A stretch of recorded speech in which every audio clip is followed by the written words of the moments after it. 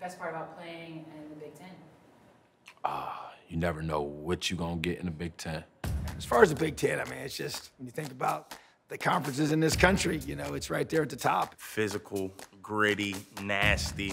Great thing about coaching the Big Ten, it's very competitive. And every time we take the field in Big Ten play, anybody can win on a given day. Physicality. Definitely the physicality. The physical nature of the conference. I think it's a gritty, bloody nose type of football. The athletes that we have in the Big Ten, I don't think you no other conference can, can match that. the whole experience, the size of the institutions, the size of the stadiums. It's an honor playing at home, but road game is special because once you go on the road and win, it's just kind of like a different feeling. competition every week, week in, week out. You're not going to see a, an easy game. There's no easy win. There's no guaranteed win each and every Saturday. You don't know who's going to win. You don't know who's going to come out on top. I think it's tough to top our conference for the balance of academics, balance of athletics. I think to be in the Big Ten is something that's very unique. It's a, an experience that I think is unmatched in college football.